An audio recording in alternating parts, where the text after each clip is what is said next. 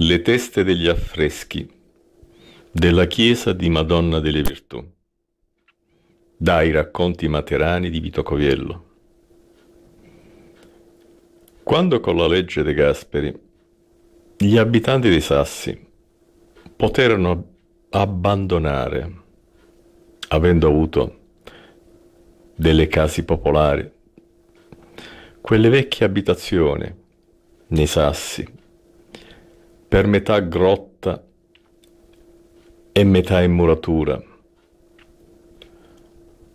dove il tetto dell'uno diventava terrazza per l'abitante della casa di sopra.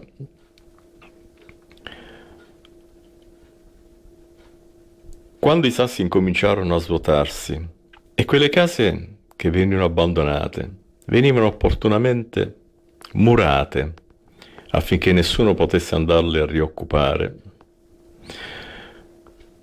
Quelli che erano rimasti nei sassi si arrangiavano come potevano per viverci.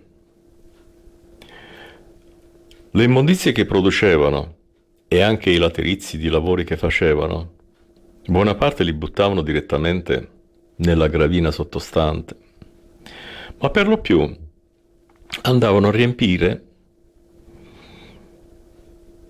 gli spazi di quelle case abbandonate e vuote. Ricordo che noi da bambini andavamo per i sassi, salendo su per i tetti pericolosamente.